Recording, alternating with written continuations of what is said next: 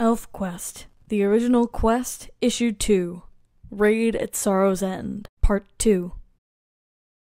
Dawn approaches. The Wolf Riders prepare to survive the day in the shade of a pillar of rock. The dunes are behind them, and now the stony desert floor presents an even harder path to cross. Mountains are beautiful in this light. So near, yet so far. We'll make it. We have to. For many, hope is all that sustains them through that second, terrible day. And by evening, there is one for whom little hope is left. Redlance? Time to go. No, Cutter. You know as well as I that I must stay here. He can't ride my chief, and I won't leave him. Nightfall. Shh. It's decided. Forgive me. If I had killed that old man when I had the chance, none of this would have happened. We are hunters, Cutter, not murderers. That's always been our way to respect life. Please. I don't want that to change. No matter what happens. I'll come back for both of you, I promise. We'll be here waiting, Cutter. That is my promise.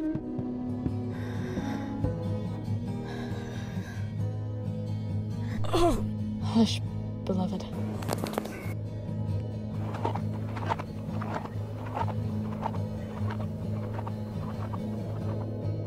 Oh! Wolf Riders! We face the final trial. When next we rest, it will be in the foothills at Sorrow's End. Sorrow's End, a name aptly chosen. For somehow, though two of the faithful wolves drop dead in their tracks, and several exhausted riders must be strapped to their mounts. The wolf riders reach the mountains. Among the rocks there is shade, and here, wonderfully strange plants unlike any Cutter's folk have ever seen seem to thrive without any source of moisture. Ow! Damn it! Huh? It's wet. Leave it to Cutter. He found us plants that store their own water. Thanks. Moments later, Ugh. Cutter, will you please collapse? You're entitled. Not yet. The juice from those sticker plants is not enough for us. Hmm, Alright. I suppose you won't sit still till you found us a blasted waterfall. Cutter and Skywise prowl the rocky foothills in search for a hidden wellspring. For a moment, they separate as Skywise pauses to examine his sorely reddened skin. Sunburn is something new to him. If we must stay here a while, I'll have Moonshade make me a shirt with a hood. This land is like a bad dreamberry vision. How can any creature bigger than a lizard survive here? Glancing from his exhausted tribe folk to the bleak horizon, Skywise shakes his head doubtfully. But at a mental cry from Cutter, all else is forgotten. Skywise, up here, quickly! What is it? What?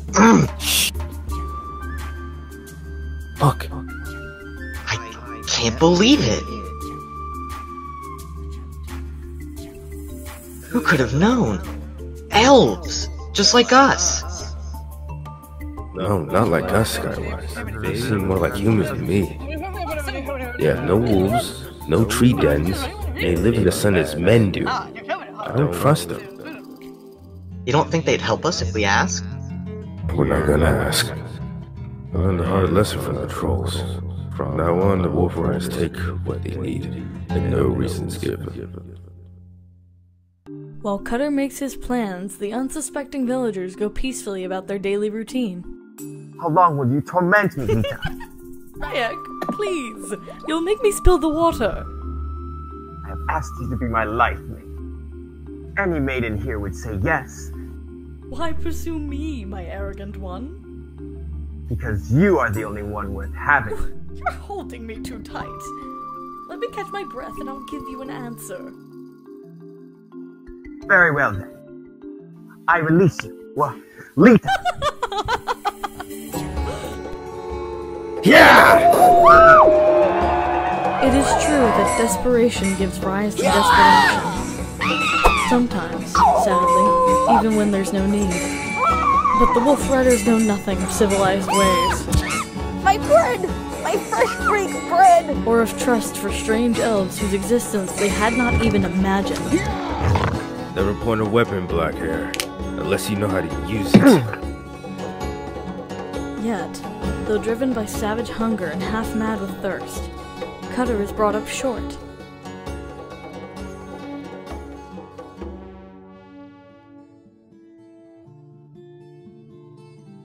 By a pair of glittering eyes as green and as fresh as young leaves, the maiden stands rigid, fear and wonder playing across her exquisite features.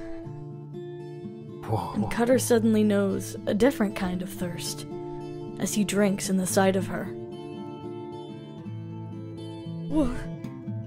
What do you want?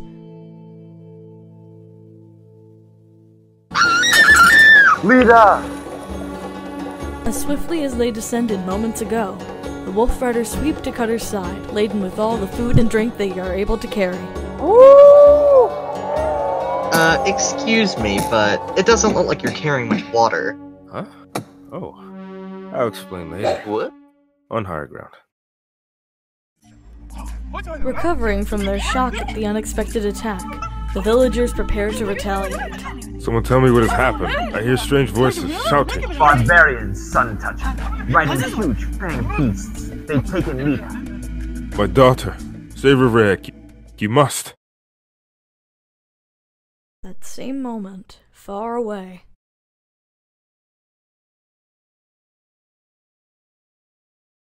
Oh. I slept. The shadows have grown longer. as she rubs her eyes awake, Nightfall notices the tracks left behind by her desperate people. Wistfully, her gaze follows the trail until it disappears in the fume roiled distance. The mountains beckon and taunt from afar. Cutter, my chief friend. He left us his own water skin. Does he still live? Did he reach the mountains in time?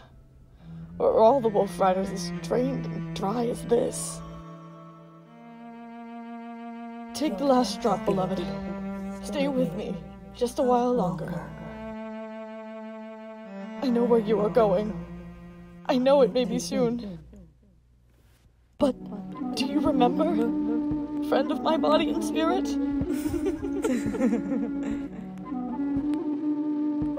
Remember?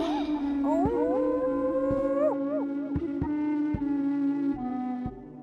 Remember?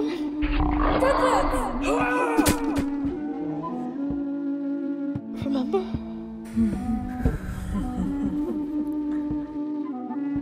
oh, Redlance, let me keep you in more than my memories.